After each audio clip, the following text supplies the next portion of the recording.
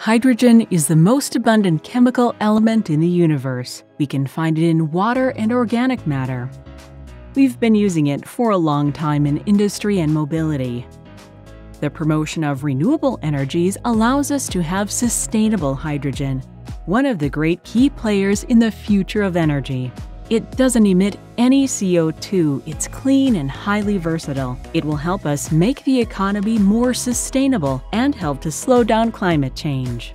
It will be key in decarbonizing sectors that are difficult to make electrical, such as the maritime or air sectors. From renewable hydrogen and captured CO2, we can produce emission free synthetic fuels that can be used in conventional engines. We can also use it in fuel cell electric vehicles. We will be able to store surplus renewable energy and use it when there is no sunlight or wind. Countries with an abundance of renewable resources, such as Spain, can export them to regions that don't have so much. How do we produce it? Hydrogen isn't just found like that. In order to use it, we must separate it from the other elements.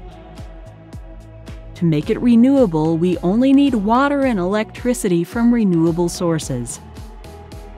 Electrolysis is the most widespread technology. We separate water molecules into hydrogen and oxygen with an electrolyzer powered by renewable energy. Photoelectrocatalysis simplifies the previously mentioned process, and in one single step, using sunlight and a photoactive material, we produce hydrogen without the need for electricity. We can also obtain it using biological waste as the main ingredient.